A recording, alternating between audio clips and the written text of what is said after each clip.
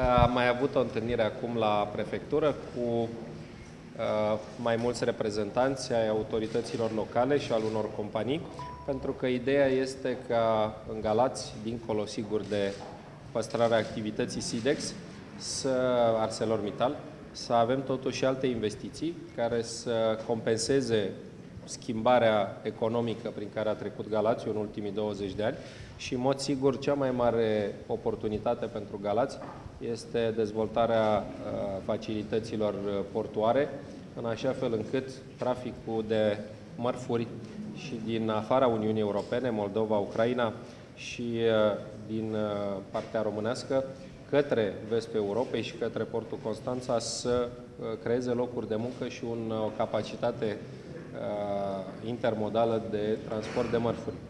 Important este că am spus și spun în continuare, Galațiu a fost una din regiunile, orașele cele mai afectate de schimbările economice uh, de după 1990, nu doar Galațiu. Peste tot în uh, Europa uh, lucrurile s-au schimbat legate de industria grea, de siderurgie, peste tot în Germania, în Franța, în Polonia s-au pierdut locuri de muncă, însă cu atât mai mult, cred că e obligația Guvernului Central de a sprijini toate proiectele de infrastructură și de creare de locuri de muncă pentru a da uh, o speranță pe viitor și celor din noua generație uh, care trebuie să trăiască în această regiune. Asta a fost obiectivul principal. Uh, dacă mai e ceva, vă rog să mă întrebați dumneavoastră. Cum comentați uh, demersul Eram la... sigur că începeți cu o întrebare cu cum comentez. Ziceți, ce să comentez? Atunci vă rog să dezvoltați să ideea de trecere a porturilor în administrarea publică locală. Bun, la Galați nu e cazul, pentru că cele mai multe dintre facilități deja private.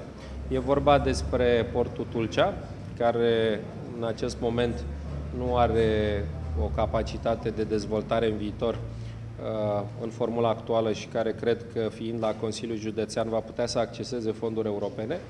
Uh, și de asemenea de celelalte porturi, uh, cu excepția Galați-Brăila, care nu se mai pune problema, celelalte porturi la Dunăre, care printr-un management și o implicare din partea autorității locale și prin accesarea fondurilor europene care țin fie de programul operațional regional, fie de strategia Dunării, fie de Connecting Europe Facility, pot să le dezvolte în continuare, să creeze locuri de muncă și să le facă din nou active. Deci Există, deci eu susțin această idee. Există un termen până la care porturile ar putea trece în administrarea publică locală? La Tulcea știu că hotărârea de guvern este chiar în fază foarte avansată. Uh, celelalte uh, Constanța? porturi... Nu, nu, nu confundați lucrurile, nu încurcați borcanele că Borcanul cu uh, porturi de pe Dunăre nu are nicio legătură cu cel de la Constanța. Constanța e o, o altă discuție.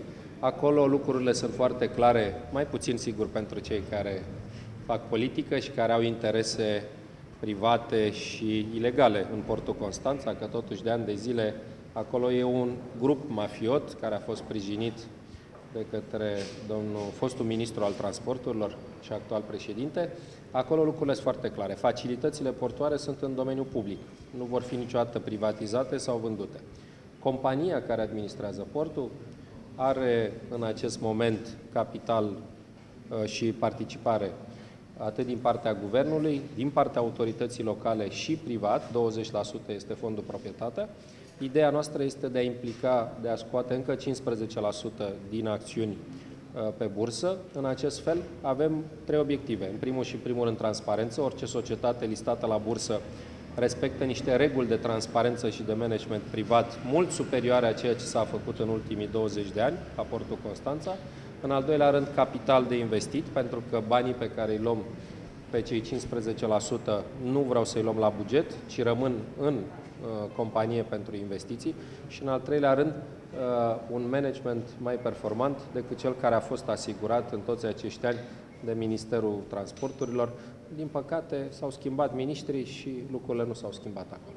V-am întrerupt în legătură cu celelalte porturi de pe Dunăre, un termen până la care ar putea ajunge la Fiecare este în funcție și de capacitatea autorității locale și o să-i spun domnului ministru Șova să vă transmit o informare exactă cu celelalte porturi care trec la autoritatea locală. În câteva județe din țară, Timiș, Gorj, Iași, Argeș au fost lipite afișe acum la începutul campaniei cu USL și s-a luat decizia dezlipirii lor acum, ieri, astăzi.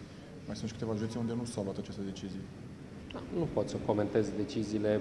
Bă, bă, bănuiesc că vă referiți la birourile electorale județene. Da. Pe de altă parte, ceea ce pot să vă spun cu siguranță, din punct de vedere politic și al administrației publice locale, este faptul că în, noi, în primul rând, am candidat împreună ca USL.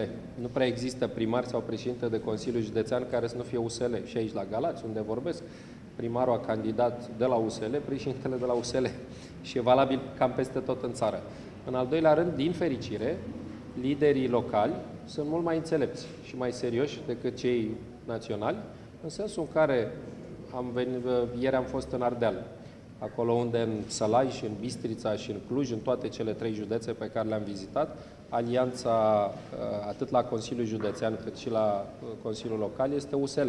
Sunt în Galați unde la Consiliul Județean și Consiliul Local avem USL. Uh, deci, cu foarte mici excepții, peste tot în țară, Uniunea Social-Liberală își face, așa cum a promis de altfel în 2012, își face datoria de a guverna la nivelul Consiliului Județean sau la nivelul primăriei.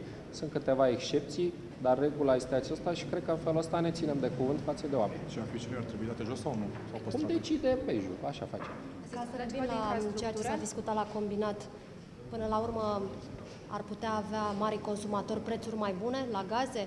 Spuneați că trebuie vorbit cu Uniunea Europeană, cu Comisia nu, Europeană. Nu, nu, nu, stați să nu confundăm lucrurile. Ceea ce întrebau dânsii și le-am confirmat este faptul că România va aplica uh, schema europeană recent adoptată, cred că pe 7 aprilie, dacă nu greșesc, prin care mari consumatori, cei care sunt în pericol de relocare, cum e și siderurgia, pot să beneficieze de un sprijin de până la 85% în ceea ce privește subvenția pentru energii regenerabile, certificatele verzi.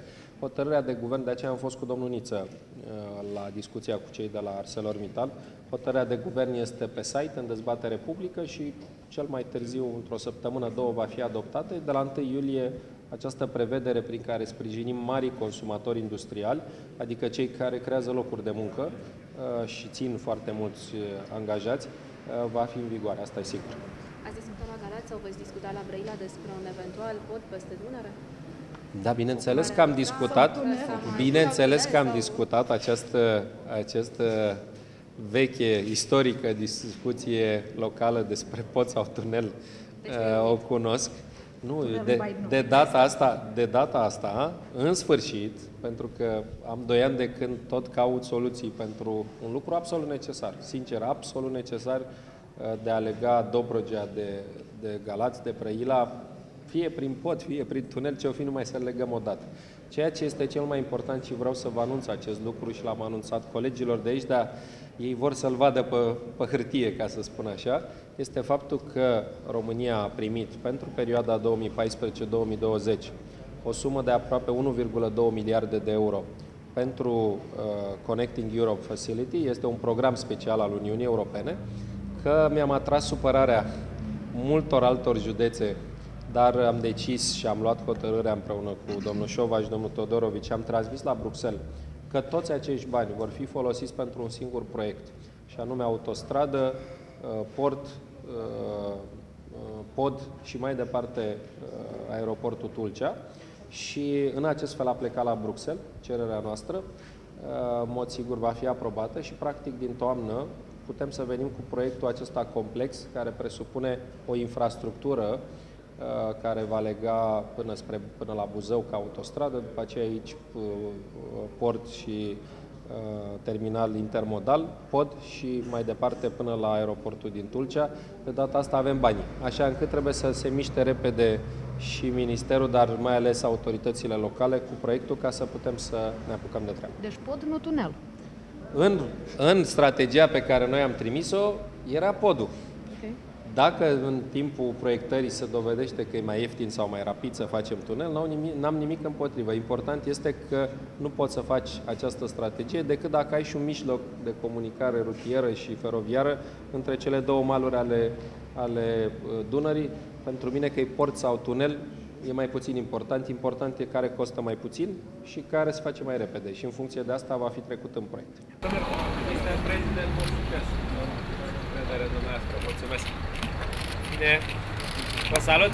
Stați, stați, stați, stați, stați, stați, stați, salut pe domnul Domnul ministru, noi ne vedem la București. La revedere.